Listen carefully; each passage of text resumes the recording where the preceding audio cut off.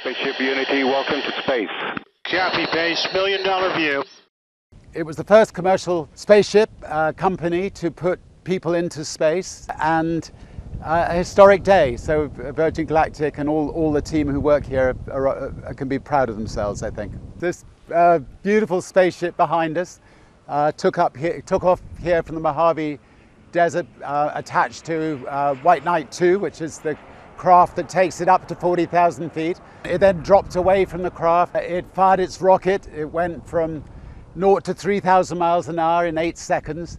Um, and it headed up and up and up, and we all had this spectacular view of it going up and disappearing into space, where our pilots were floating and looking around at the world from space. What this basically means is that we now have a spaceship that's capable of going to space, uh, we'll do a handful more test flights and we'll learn something from each of those test flights.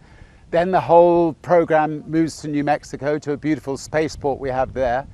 Um, I will then go up, and then after I've been up, um, our um, paying passengers who want to become astronauts will um, will follow. And I hope that in the years to come, many people watching this program um, will go to space and become astronauts. I believe that uh, in, in, sometime in the second half of next year, we will start being able to put regular people up into space. But obviously, we're going to wait until we've ticked every box. Um, and we're, we're 100% sure about the spaceship before we do that. But my, my best guess would be the second half of next year. I couldn't be happier.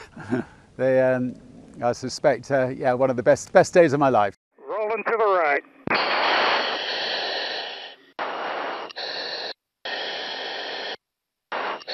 complete.